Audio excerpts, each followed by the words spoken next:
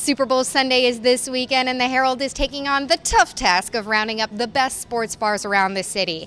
First on our list is a new option at the Omni Hotel at the Seaport. It's the luxurious new Sporting Club. The star feature of this bar is its curved television screens. They wrap around the room. So wherever you are, you're going to have a great view of the game.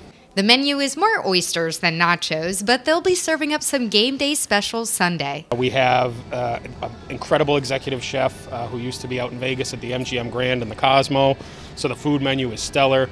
And there are some original Boston sports accents in here as well. When you walk in, the floor in our entry bar is actually the parquet floor from the Celtics practice facility in Waltham that was taken up and put down. But if you're looking for a more wallet friendly option, look no further than Gate C at Fenway Park.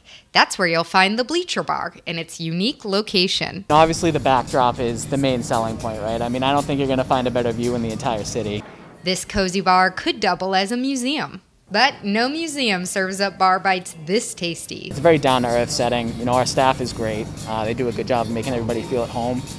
And I think that's just really different than what you might get at somewhere else where they just kind of treat you as a, a customer, not a guest. One notable disclaimer for Patriots fans. So we are a Bills backers bar. Um, I couldn't tell you why. I don't know. I think the guy that opened this place was from Upper New York, so I guess it checks out.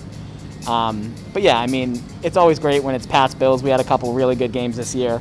Uh, lively crowds, a lot of kind of back and forth jibber jabber, but I mean, we never have problems here.